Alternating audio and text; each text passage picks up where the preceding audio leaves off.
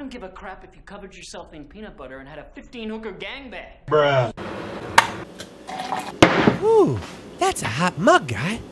Hey guys, we're Hey. back here. It's been a while. It's been a bit. Today's Halloween, and as Mark uh, pointed out earlier when we were watching this, this is the 18th anniversary of the release of the first Saw film. This film is legal Do you remember- in here. No, no, in Alberta and. Montreal or Quebec. I know they did it with the Paranormal Activity movies after too, but like this was like a tradition for a while. Like Halloween was Saw. Saw-. Like you just that you knew it was getting, you knew what you're getting, and this is like when it started it all off was you know 04 And with they, they not only did it start off that trope, it started off James Wan's career. It Yeah. started off the writer's career. yeah as Lee well. Whannell, who's also Who's star, acts in this, and Yeah. fortunately doesn't act a whole lot anymore. Wait, which, which, who is he in? He's he's Adam. He's the other guy? Yeah, he's Ezra. Oh, he's Ezra Miller. He's Ezra Miller. If I- Man, he looks a lot like he does Ezra look Miller. like Ezra creepy. Miller, which is funny because, like, really, that would be the true horror to be locked in a room of Ezra right now. Did you wanna fight? Is that the deal? yeah, no, it started that. This guy also went on to write and direct uh, Yeah. Upgrade and The Invisible Man. Truly speaking, while some of the parts of this film have definitely aged, it is 2004. Can kidnap you and drug you before you know it. You're lying in a bathtub and your kidneys are on eBay. certain parts still hold up, and it's still pretty impressive that they put this together with the budget that they had. and they the- all filmed sh- in they one sh- building. They, one location. They shot it in 18 days. Like I love one location. 18 days? Yeah, apparently it was only 18 days. okay, yeah, which the, is- the poor man's uh, car stuff does make sense. they they definitely uh, know knew how to use their budget in this movie. The gore is great. It's fun. I mean, it basically, you know, this and maybe like Eli Roth's Hostel really started the like torture porn thing. Which Although is funny because this isn't really that. it doesn't. They called. They used it a lot for that. The other movies would turn into Yeah, that, but yeah. this one is it's a story that just so happens to have this slightly torture related I mean- stuff, which appears at the beginning, and then it doesn't appear again until the end. Other than a few staccato flashes. Yes. Oh um, god, the static, but, like the. I mean, we're talking. We're talking about doing this whole franchise, and uh, I I really like the first Saw movie, Mm-hmm. and I basically don't like any of the others. Like, there's there's some merit to some of them, and I think Yeah. I think I like three and four a little bit. Three has probably one of the best slash awful, most awful deaths in the entire series, and then for some reason five comes to mind for having like a script that's just above brain dead. I literally can't tell you any differences. Like, I know three three's the one where he dies, right? Yes. Where they kill the main killer in their Yeah. Jigsaw franchise. Actually, kind of looking forward to rewatching them because most of them I've only seen once. Exactly same for me. I, I think I've seen the third one a couple of times, and uh, then the first one, and then maybe the second one twice. But aside from that, this is kind of going down a very big memory nostalgia Yeah, lane. yeah. I like how Wan puts this film together. It's definitely put together by guys who are just butting into this. Like these guys Yeah. would go on to hone their skills from this film exceptionally. I mean, Ja- James Wan is a true master of horror, and this Mm-hmm. was like our first introduction to him. Like, this was his first major movie. I mean, I like that you reference the fact that it's a story movie because there is a story to this. We have several characters, lots of twists and turns. There's all Oh, sorts yeah. of like things going on. We've got like Danny Glover and um, and his partner. We've got like what's going on with um, Dr. Gordon's kid and wife. We've got them in the bathroom. We've got all this other kind of backstory and flashbacks Yeah. we're getting. Like, there's a lot going on in this movie, and it's all connected together. it quite comes together well. really well. Yeah, especially in the final climax. And it's not just because of the banger track, Will you murder a mother and her child to save yourself? which i admittedly has to be said. How long did they have? Like, I had, Yeah, he had three weeks. Yeah, Charlie Charlie Closer, um, Closer. I'm not sure. I've never really known how to pronounce his name, but Closer, whatever. He had three weeks to put this score together, and uh, I mean, honestly, it's fine He just for put the, most part. I think he just put the theme together. And said, yeah, you know like what, guys? the rest, the rest of the score is. I mean, it's a lot of industrial driving, like ambience, which you know, I mean, is very 2004. Mm-hmm. But like that, I think it's called "Hello Zep" is the actual name of the track, but it became like the Saw theme that just like. Yeah, and it also would. Game over. Oh, I think the, so fil- good. the series would eventually go into its own tropes of literally having a major twist reveal with the theme Yeah. at the end of every film. this one it works, obviously. This the story for the it's great. I love the way it does. There's um like before we get kind of the ending. Like I love everything leading up to it. I think it's great the way they introduce this whole Jigsaw character. They do try to lean in that maybe it's the Doctor, and then they then maybe it's Zepp, and maybe Leigh Whannell's character, like Adam, the other guy in the bathroom. Maybe he has more going on. They do really well, kind of creating these like different lines. I mean, watching it now, we all know what's turned out. But I, I mean, I saw this Mm-hmm. Movie on Halloween in in 2004. I think I saw it as a double feature with The Grudge. They kept me guessing the whole way through, and uh, Oh, and yeah. everything's really well done. I mean, the scene. Although watching it here, it was seemed brighter than I remember it. Yeah. Um, but the scene where uh, Leigh Whannell's Adam is uh, in his in his apartment in the dark and he's using his flash, Someone there? that like, oh man, that seems stressful Yeah, and great. It's because of creepy. And it's got that like pseudo Texas Chainsaw Yeah. Massacre um, film click sound, and then like the reveal, the pi- the flash goes and the pigman jumps out. Like it's so cool. Like even the laugh of the doll, Billy the doll. We should mention like Yes, a horror icon. I have Yes, his Funko. Pop. Which I funny because I always remember the doll. I forget the pig face. Yeah, uh, but I mean that's the thing is like that doll. It was great. I mean, I'm pretty sure it actually makes a cameo in their next movie, Dead Silence, as well. I think I so. think he's got yeah. like a. I mean, he should. The movie's Which about, actually, the movie's about dolls. You're bringing that up, like the production design. Can we watch? Can we watch Dead Silence instead of watching Jigsaw again? Yeah, maybe. the last one's just garbage. But, Um, like, I think that the production design like went into a lot of detail, like the room with the guy who has to uh, try and find the the combination on Yeah. the wall. Yeah, Uh, that's that's really well done. The barbed wire is really well done. One. Even the room that like Shawnee Smith's in um, for her reverse bear trap thing, which I guess is probably the most like famous trap in the movie. Yeah, like it's the that's one that one people remember. referring to. And they bring it back later in the franchise too. I'm yeah, pretty sure. did. Yeah. oh Um, god. Oh yeah. They also used it as part of their pitch video when they were trying, like, in addition to the short, they shot a scene where Leigh Whannell's character wears the reverse bear trap and did that scene. Well, so I, they knew what they were getting and Well- they designed most of the shit themselves. Well, yeah, that was so the cool. idea with these, like all of these tortures and all of these like traps and whatnot. In the first few movies, they actually were kind of coming up with them. They had to create them off the top of their head. But then, as this started becoming a franchise uh, spewer, they were just going and looking at obscure medieval torture methods, which just helped propel the series into this complete absurdity Of- that it would uh, be yeah, known the, for. like, Whereas this one's, torture for the most part, it's grounded.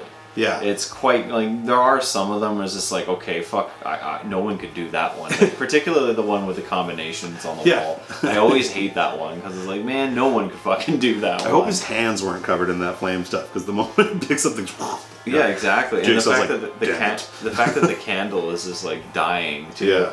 So some of them obviously are a little bit like And quite are we supposed to believe that's the only light in that room? Because that scene's also super bright. Yeah, exactly. In general, it's really well done. I mean, there's a little bit of melodrama in some of the acting. Yeah, the acting gets better as the movie It does goes get better. on. Well, it's, it's they quite- shot it. They shot all the bathroom stuff. They shot it in chronological That order. makes sense because yeah, everyone yeah, gets better. Cary as- always seems to care more as the movie goes Yeah, on. it's like, Last I heard, police still It's a little surprising. You'd almost think it would go the other way, But he's like, great oh, by the end. towards the end. but no, and then leading towards the end, the twist at the end is probably still one of the best twists Yeah.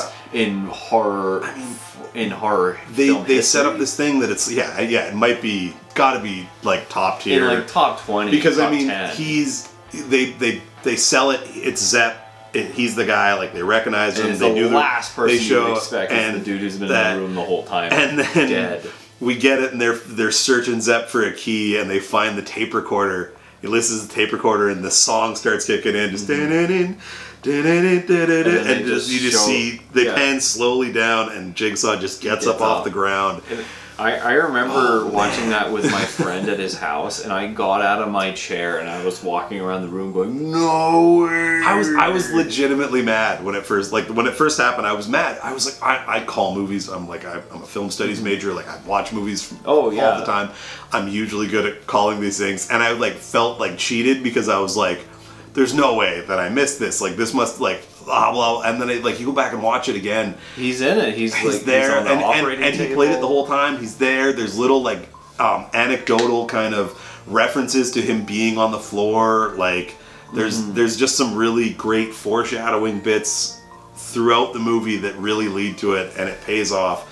And ah, I mean, it's it's one of the greatest twists in horror movie Yeah, history. it- Like, it's it's one of the greatest twists in movie history. It is, and it's something that they've the series would continually try to recapture, but they never could. And other films would sort of try to do this. And at the same time, this film came out at a kind of a crucial time for horror because 2000, like late 90s horror, was either Scream or incredibly bad Yeah. or runoffs of it are obscure, strange pseudo horror, which also wasn't working yeah, too well. I have a soft spot for a lot of them, but I mean, like objectively, there's a lot of dog shit horror. Yeah, and so like this was like the grungy, Not, like you're okay though, not your dog or the grungy, like the new metal version of horror. There's that- so much new metal. There was so much new metal in this. It revitalized it. James Yeah. Wan essentially did something that you know he, he can still hold on to for. I mean, like, it, we're 2022 and the guy's still making bangers, Yeah. and I'm stoked for whatever he's coming out with next. I loved too. Malignant. yeah, like, Malig- like even though Malignant, I didn't even hate Aquaman. I hate the whole DC uh, Oh.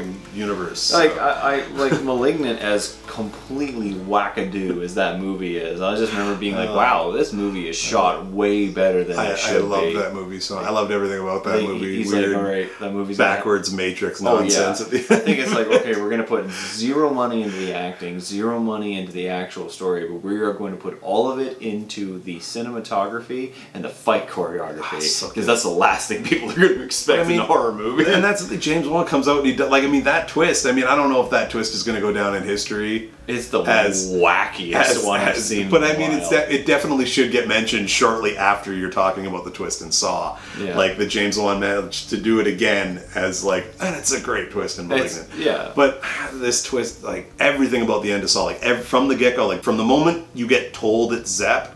And the stressful scene with the mom and daughter, with Mm-hmm. Danny Glover's character running in and trying to save the day, with the and then he dies too. with the which- terrible, terrible poor man's process. oh yeah, like where they're in the car and chase. it's, like, I mean, like, it's stylized Shake- in a it's like shaking the camera, shaking the car, and like some fast, with super black all editing. around it. Which is funny because like the editing's not bad either, and sometimes like some of this is a very sped up, very It's, it's dark very CSI. I was gonna say it's it's somewhere between CSI and like a a new metal music video. Yeah, Like, a lot of like if he hadn't directed music videos before this, I would have been very surprised, especially with the with the low Yeah. circling, uh, looking upwards Michael Bay shot cameras. kind of going into there are a few things that have aged a little bit. Like we said, the acting has aged Yeah. a little bit. The pacing in some of the bits is yeah, kind of pa- a little he bit. definitely found more as he kind of moved on, um, and, And- and, just getting and what the he needs out writing, of the actors. writing is ooh, the writing's They've, bad. they've definitely improved as writers Yes. over the last Yeah, 20 years. they're- I mean, some of that's also like Leigh Whannell's delivery, but like Yeah. they're also just corny ass yeah. lines that are just like I don't give a crap if you covered yourself in peanut butter and had a 15 hooker gangbang. But still, in terms of what this film set up, what it did, and it, anyone who would watch it today, aside from being like any Gen Zers or millennials being confused by the cell phones, by the cell tape- phones, pagers, the tape recorders, tape recorders. Um, yeah, there's some definite um, technology of the old. the uh, what's the antiquated technology in this movie. Aside from that, though, I think that for any who have not seen this film, the twist would still be pretty freaking Yeah. brutal. It'd be pretty like I- raw. like, it makes me like my kids like horror movies. Like I'm looking forward to being able to show this one to them, so like I you know I can just watch Serenity's head explode. Oh, yeah. because it's ah, it's so good. Yeah, no, watching like it would be actually really cool to see someone who's never seen this Yeah. and see that twist and just like watch their face as it. So, in terms of my rating system, what would you give? This? Um, I mean, I'm, honest, I'm probably giving it like I mean, I'd probably say a 5.5, but I know you don't like me doing half numbers, so I'll probably go with.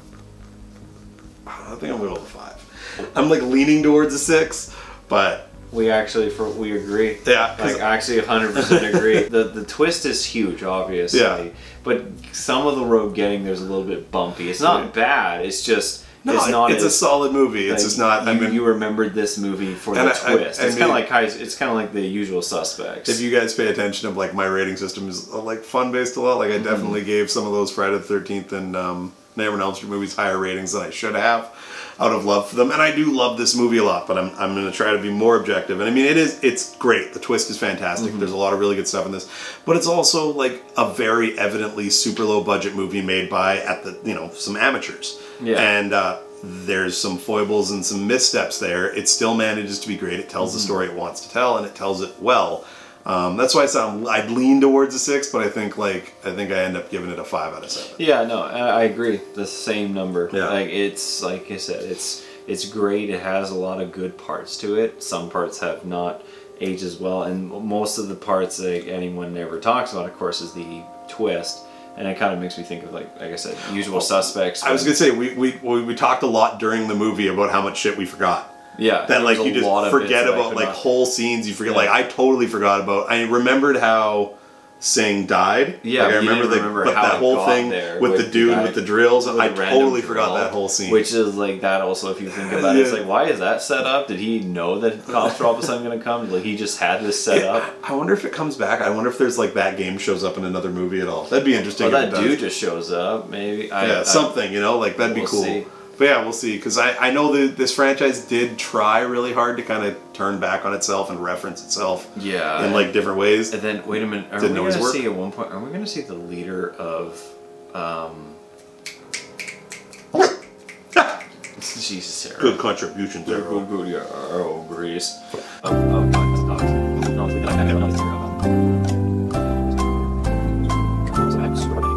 Um, Ramses. Oh, Yeah, Chester. Yeah, Chester Yeah. Bennington's in one of these. just- He's Jesus in one of the Chester Benningtons in this. You can edit out the part where you failed miserably. Yeah, all the way yeah, yeah, Chester. Um, Chester Bennington dies, I think, in the last one that was technically chronological. yeah, I think he dies in the final cut. Yeah. Quote, unquote. but yeah, I mean, I'm looking forward to checking this franchise again. I really had fun watching this movie. Yeah. Uh, it was a delight. Same. No, it was like it was a good memory lane. Yeah. And I'm actually excited to get disappointed as Yeah, we yeah. go through this series because I remember the second one's like a complete fun, like a complete change. The second one, I hated the second one. It's kind of grown on me over time. Um, I- I just remember that one It's the only other one I've seen a- more than once. It's the gun. I remember this The huge guy- dude? The dude's just a, the Yeah. biggest fucking dick. It's like I don't want you to live at all. Yeah. I mean, that's the one, you know, Darren Lynn Bousman kind of takes the reins after this. He Mm-hmm. wrote two and directed two, three, and four. So, and then Spiral as well, he directed. Yeah, and then we're gonna yeah we're gonna get into some some. We'll see how much of this can actually be seen on YouTube. yeah. Anyways, guys, Yeah. thank you for Thank you. watching. Uh, happy Glad to be back. to Happy you. Halloween. Yeah, and we're excited because well, we, we thought about doing the Halloween series, but I think Halloween ends with Oh, God. Yeah, he mentioned in the review. I Yeah. fucking hated that movie Yeah, so a much. little bit of a sour note in our take. Oh, I hated So, that movie. we, we talked about doing the Saw ones for a while, and you know we had a real fun time doing the Friday and the Nightmare series. It eventually taking a little far longer than we should have. Yeah. Will be hopefully a lot faster with Yeah. these ones. But anyways, hope you guys enjoyed. Happy Halloween, and uh, Cheers, guys. See you guys next time. Bye.